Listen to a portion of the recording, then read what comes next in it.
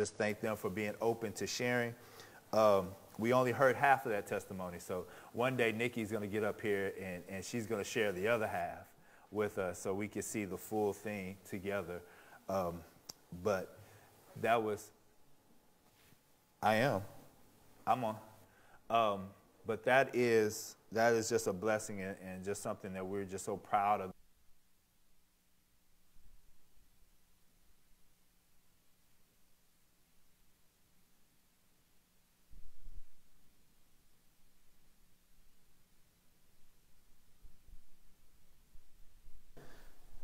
Our uh, announcements for this week. Uh, just want to say uh, happy birthday to Sister Tanya. She celebrated her birthday this week. If you, she's still recovering from her knee surgery. She's started therapy, so we're just going to pray her on back into the service.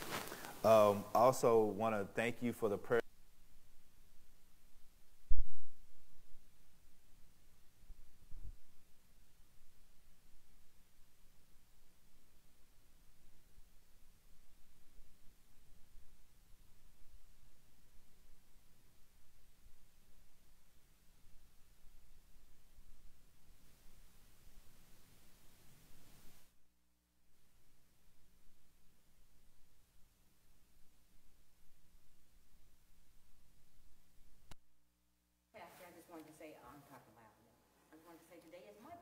Oh, amen. Amen. Happy birthday to Sister Sherry.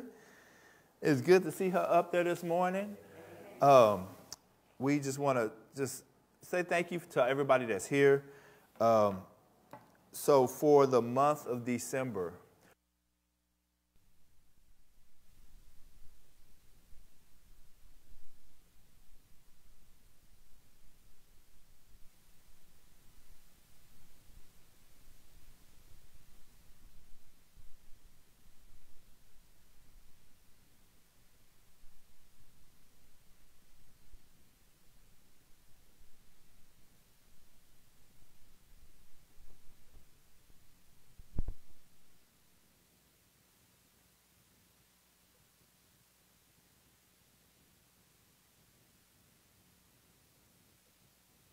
And then we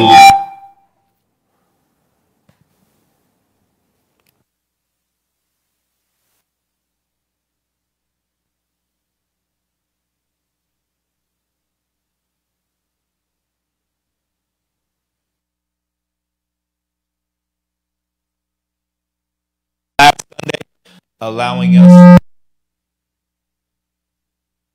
allowing us to. I want to thank you for your flexibility. Last Sunday was a different service, um, and and we I allowed uh, Living Word to to have their service during our time. And so the service was different. It was to honor their pastor, but I appreciate and I thank you for your flexibility and not being upset with me and with us for for doing that. But we were able to honor that church and that small church and their pastor and their church family. So thank you for that. Uh, that is all the announcements I have. It is now time for our offering. Um, as we often say, there is four ways to give. There's you can give via Cash App, you can give via the website, you can give via text, and you also give via the plate. Um, our ushers are preparing and are and they will lead us in our time of giving.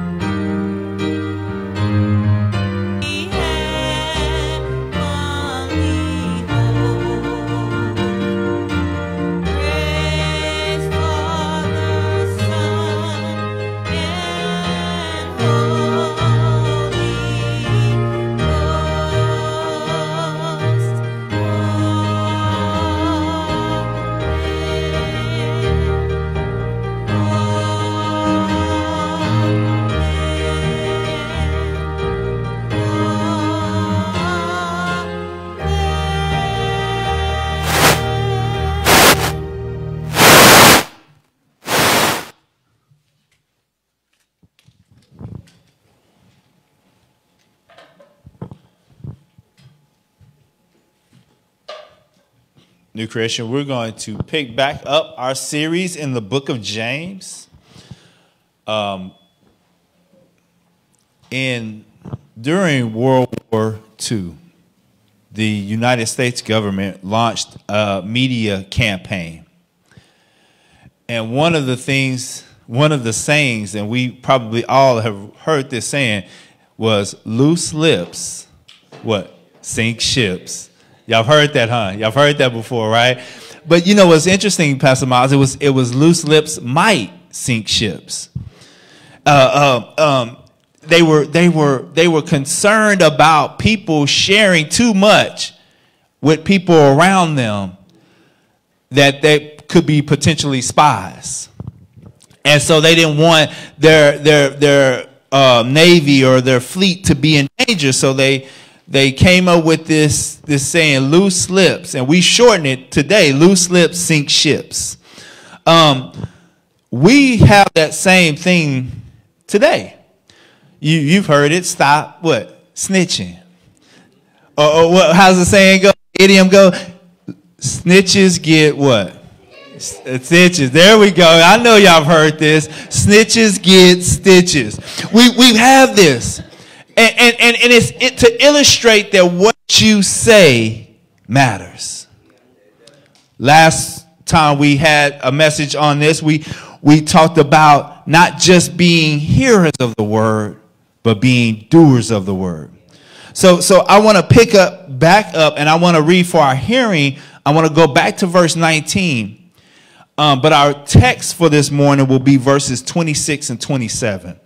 James chapter 1, starting with verse 19 through verse 27. Before we start, let's pray. Heavenly Father, have your way. Lord, help us to understand your word. Help us to receive your word and see it with fresh eyes. And although we may hurt this, Lord, help it to penetrate our hearts that it will cause us to be not just hearers of your word, but doers of your word. Lord, we pray that you just have your way with this time. Use me. Let the Holy Spirit speak through me. That the word of God will be magnified, the word of God will be understood, and that you will be given all the glory, honor, and praise.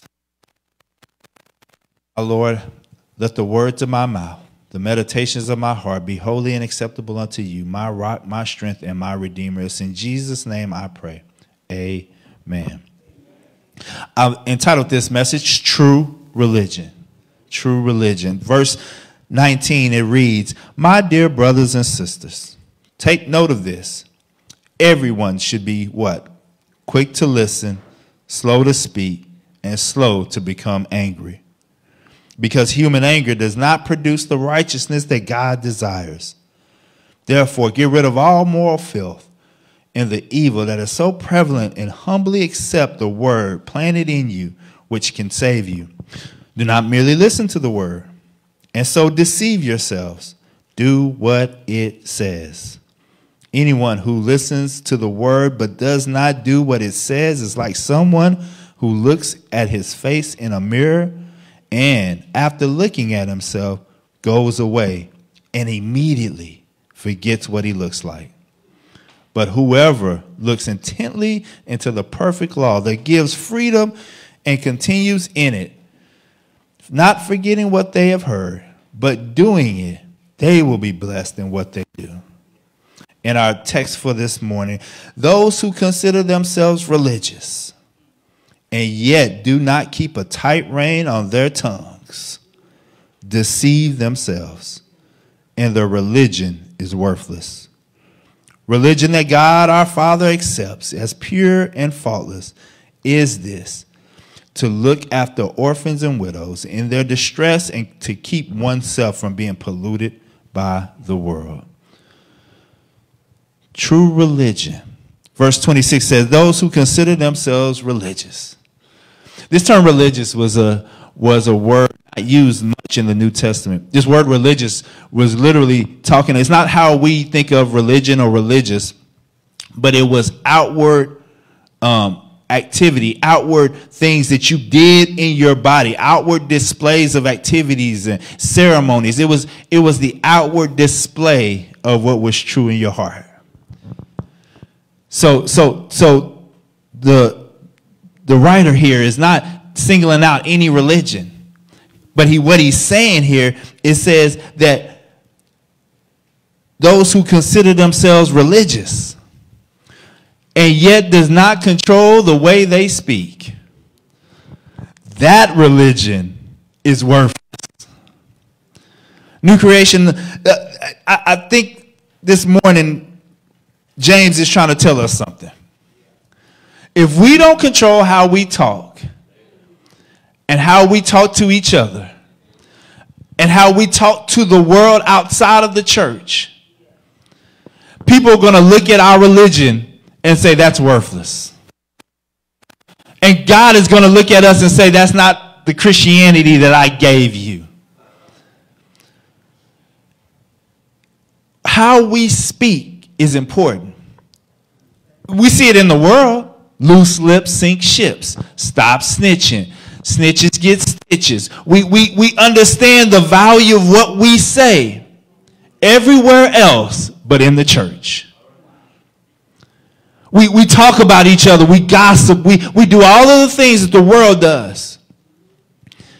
And we, we, we come back to, to the church and we try to figure out why nobody wants to come to church with us. Nobody wants to be like we are. Nobody wants to sign up for that. We, we see it in, even in politics. People who are professing to be Christians but doing unchristian like things and saying unchristian like things. And, and then we're looking and, and the world is saying, but that's supposed to be Christianity. Whatever label you put on it, conservative, evangelical, whatever label you want to use, it doesn't matter. If you, if we can't control the way we talk, if we can't control our tongues, our religion is worthless. See, see, in, in verse 26, religion is used in a negative connotation. It has a negative aspect to it. But it also, the, the, the writer is saying, don't deceive yourselves. See, he's been working on this idea of being deceived all throughout this chapter.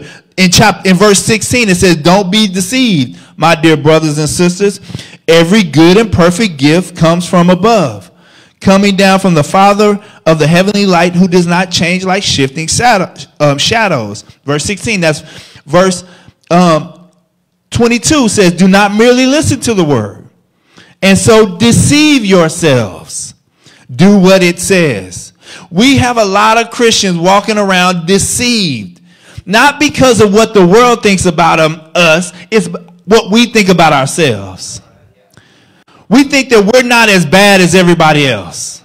We have this comparative religion where we compare ourselves with everybody else. Well, you know, I'm not as bad as such and such. You know, they cuss all, they cuss all the time, Pastor Mac. They, you know, you know how bad they talk. But I don't do that kind of stuff. But but but but we we talk about each other. And and and, and the Bible is clear. It, Jesus took it a step further. He says, if you if you regard it uh, if you look at somebody, if you talk about somebody bad, you, you've committed murder. Go back and look at the Sermon on the Mount. Go, go back to, to, to Matthew 4, 5, and 6.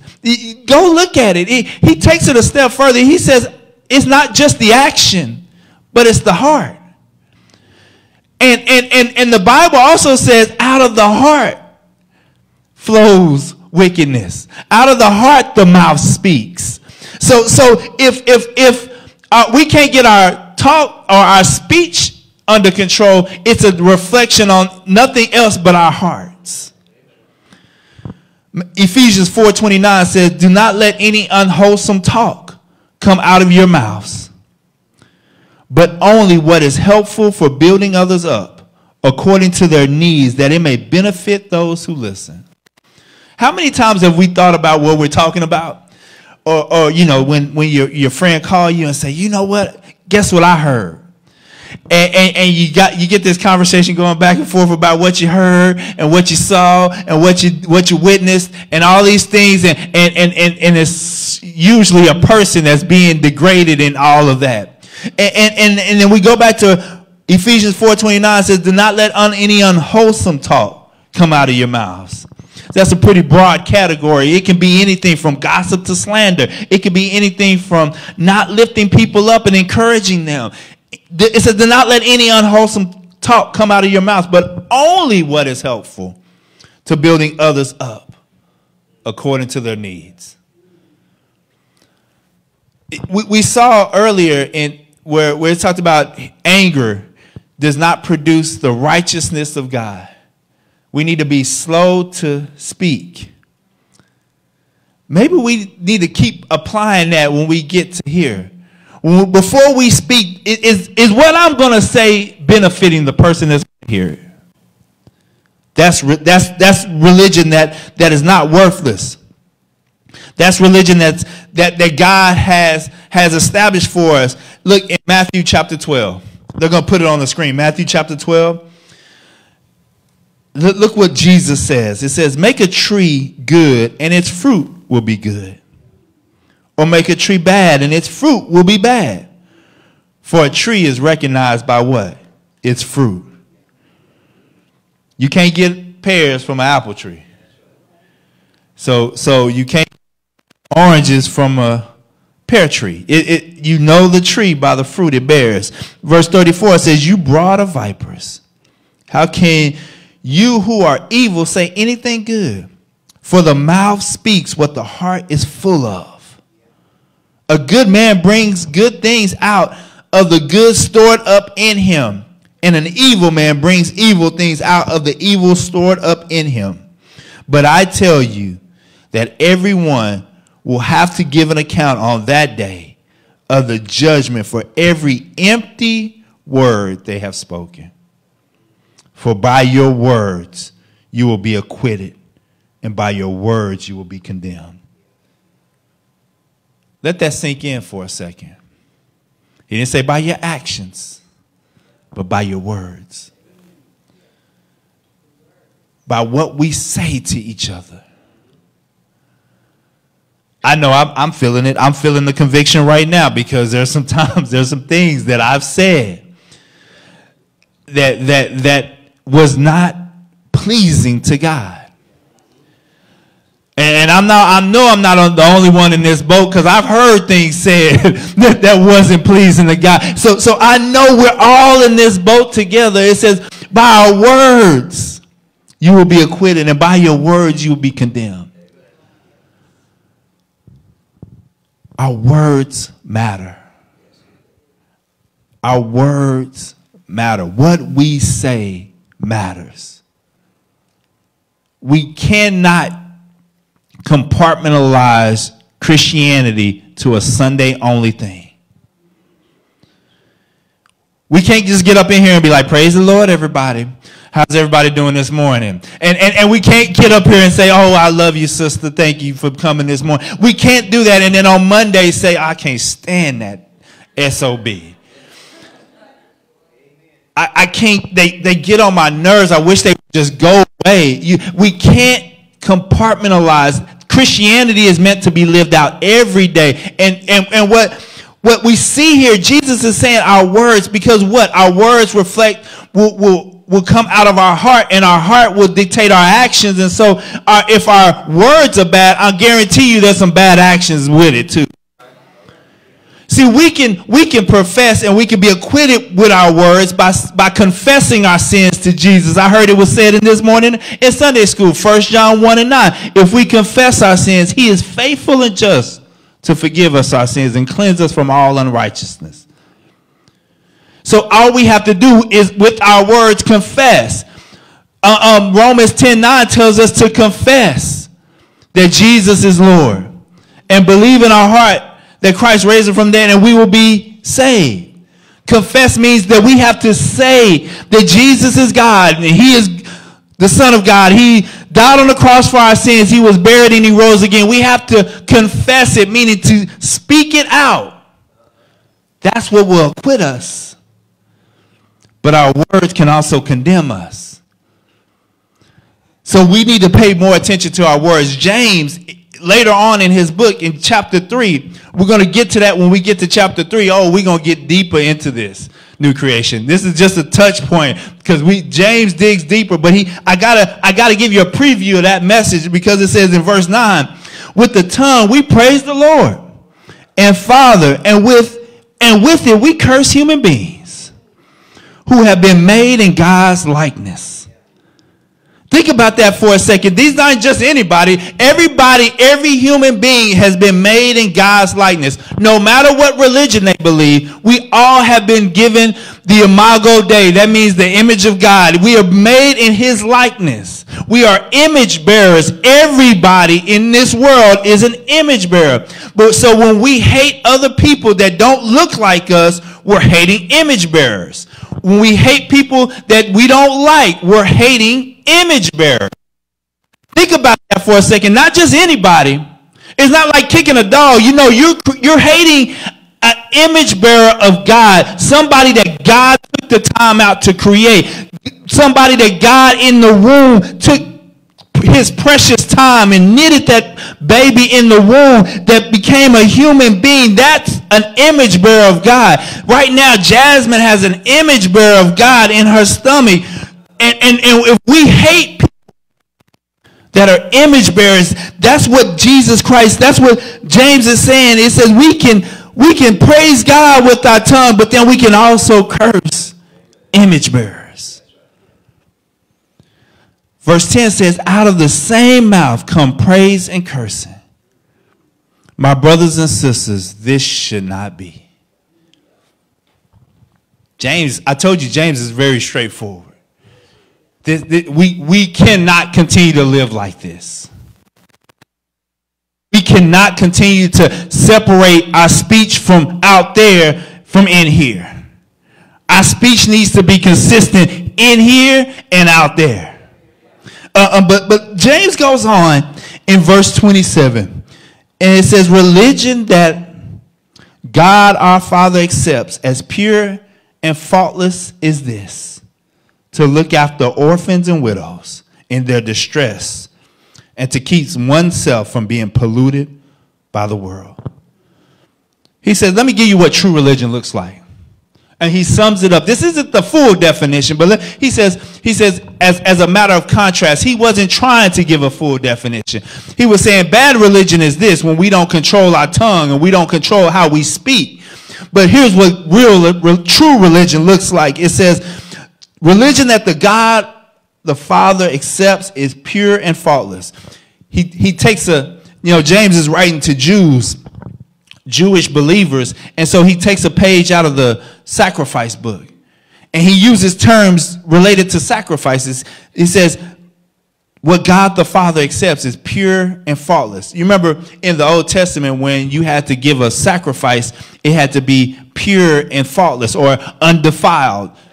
It, it had to be a perfect sacrifice, as perfect as you could find. The best of the best is what God would accept. And, and, and, and so he says here, religion that God accepts as pure and flawless is this to look after the orphans and the widows. What does that mean, Pastor? It, it, it means this. See, back in the day, they were a patriarchal society. What does that mean? That means the men were the only ones that worked. Very seldom did you find women that worked in that day. So if if the man was the only one that worked, when a the husband died and left a widow, she usually was in need because she just lost her breadwinner, the one who took care of her. And so when we see widows, it's talking about women who aren't able to work and are in need. And when we see orphans, it's the same thing. If the husband is gone, if the parents are gone, then there's nobody to take care of the child. And there's, so there's orphans out there that aren't unable to take care of themselves. What it's talking about is those who are simply in need. It, it, it's those who need or outcast, those who don't have what we have, it, those who, if we help, can't do nothing for us in return. See, God wants us to take care of those. Our, our religion is pure and it's undefiled when we take care or we look after or we do things for those who cannot do anything back in return. When we care for those who have been socially outcast, we care for those who have been put on the back burner of life. That we can we can broaden that perspective. It's not, not just widows and orphans, but it was a good example. But the bigger point is that our religion has to have feet. Our religion has to be doing something. We can't just hear the word, we have to be doers of the word. And to do the word, he gives us a great way to do it. Take care of those who can't help themselves. That's why I'm so excited about the clothes closet and the food pantry because that's our way of helping those who can't help themselves. It, it, it's, it's all about who God and the Holy Spirit leads you to help. Those who can't help themselves. It's, it's not limited to that, but that's a great place to start. If you want to focus on something, focus on those people who don't have. Focus on those people that can't help you in return. That's going to be more reflective of true religion that God accepts. But he also goes forward and says another thing. He says, and keep oneself from being polluted by the world. This, this, this word polluted, some of your versions might have spotless he wants us to stay spotless. This is more referring to as orphans and taking care of the orphans and widows refer to our conduct. This is referring to our character. This, this is our character has to be spotless or not polluted by the world around us. What does that mean? It simply means this that we can't allow, we have to be in the world, but not of the world. We, we, we, we, we, we're called to go out into the world to make disciples. But when we out there making disciples, make sure that we don't get polluted by the world and the thinking of the world. See, see, the world's going to tell us a whole lot of things contrary to Christianity, and we can bring that stuff back to Christianity thinking, I don't have to come to church on Sundays. I can just watch it on video. And that's great. But that's the, the, the Bible says, let us not forsake the assembling of ourselves together. There, there's something about when we get together as a church family there, there's something about when we are able to talk and interact with each other and share and, and, and give testimonies. How we, we witnessed it a couple of weeks ago when Tammy gave her testimony, how powerful it was. It wasn't a dry eye in this place. People were watching the video like, why were you wiping your eyes? I, I couldn't help it. I, because we, we only went live after the testimony, so they didn't get a chance to hear how powerful the testimony was. And, and, and there's something about the assembly. But not just that, the world can tell us all kind of things. If, if you get too deep into politics, you go, you're going to get frustrated. Because, can I just say this? There, God is not Republican or Democrat. However, you feel you vote. Because if you don't and you violate your own conscience, you're sinning against yourself. Don't let anybody say, oh, you got to vote this way because you're a Christian. Each one of us, if we're Christians, we have the Holy Spirit inside of us.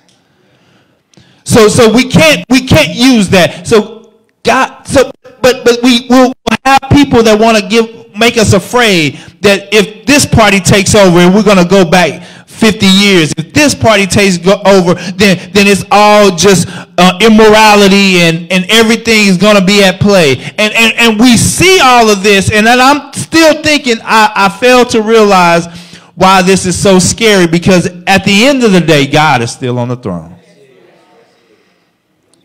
I don't care who gets elected. I, I mean, I, I, I don't like sometimes who's elected. uh, if I'm truthful about it, I, I, I, can't stand when, when certain people who are have certain views get elected. But at the end of the day, it doesn't bother me one bit. Because at the end of the day, God is still on the throne. And God's promises are still true. And He will never leave us nor forsake us.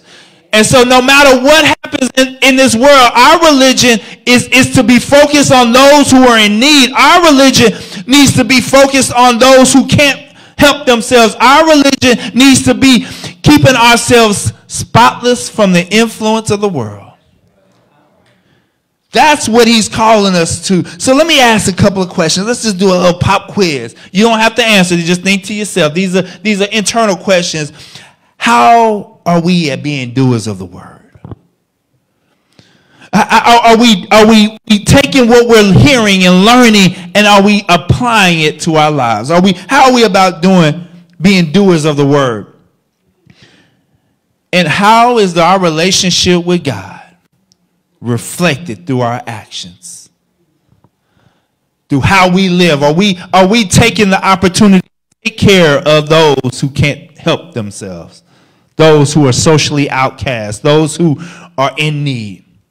But not just through our actions, how are we doing it through our speech, through our tongue? See, that's we, we, we talked about it last, last time. It says, they will be blessed in what they do. That's how you be blessed. Not, not, this naming and claiming, not this you give to the church and God's going to give to you. Not that. If you do what God has called us to do, that's how you're blessed. We're searching for blessings, and He's made it clear how to be blessed. But, but see, the difference is this is hard. This ain't easy. And I'm, I'll be, I, I wouldn't be passive if I could tell you that this would be easy. This is not going to be easy. But see, here's the thing about being easy. See, God has called us to more than just easy. He called us to be more than just being successful.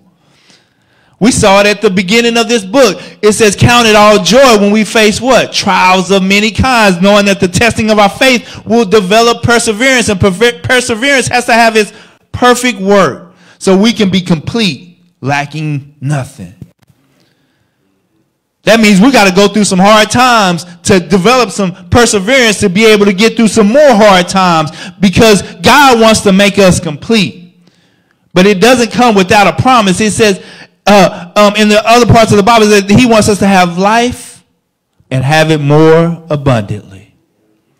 The problem is we don't submit to what His plan is for our lives. We think we know what's best for us. We think we can pop off and say whatever we want and there's no consequences.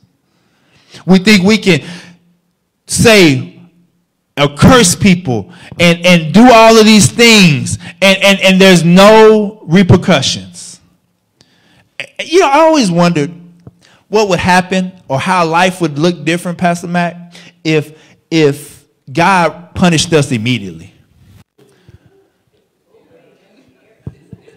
I, I always, you, you, know, like when we raise kids, I'm, I'm, in the process of raising my kids right now, and, and they do something wrong, and, and, and discipline usually is immediate. And I always wonder, what would, how would things look different if God treated us like we treat our kids, or we treated other people? How, how much different would our actions be? How much different would our speech be if if God, as soon as we said it, He did something to us to make us know, oh, I shouldn't have said that. It, it, things would be a lot different, but aren't you glad? See, if I put it like that now, aren't you glad for grace and mercy? Aren't you glad that God has allowed us some mercy and some grace to get it right while we have time? So let this be our warning. Let this be our, our, our, our, our, our first warning. Like, te- like teachers say, this is warning number one. Let this be the warning number one. And hopefully we don't ever have to get to warning number two. Because of grace and mercy, God dealt with us. Not how we, he could deal with us. But he deals with us in loving kindness and tender mercy. Aren't you glad? If you're glad, just say amen. Let us pray. Heavenly Father, Lord, thank you. I thank you for all that you have done for us. Lord, we thank you for not dealing with us the way you could deal with us, but giving us grace and mercy. Lord, help us not to waste that grace and mercy, but be doers of your word, not just mere hearers of your word. Help us to guard and bridle our tongue. Put it under watch, put it under supervision. That we don't say things that are not reflective of you. Lord, we thank you for all that you do for us, to us, and through us. But now, Lord, we ask that you just remove us out the way and allow your Holy Spirit to work through us to be a blessing to those who are in need, blessing to those who are around us. Give us insight, give us understanding. Help us to see where you want us to work. And we'll get, be sure to give you all the glory, honor, and praise. Now, God, there may be somebody under the sound of my voice who doesn't believe in you yet, who is looking for a church home. Whatever it is, Lord, we ask that you just move now. It's in Jesus' name I pray. Amen. You might be here and you are looking for a church home, or you might be here because you felt led to come here. The, the great thing about God, God makes no mistakes. And here in New Creation, we teach that in order to be saved, you have to believe five things. Like I said earlier,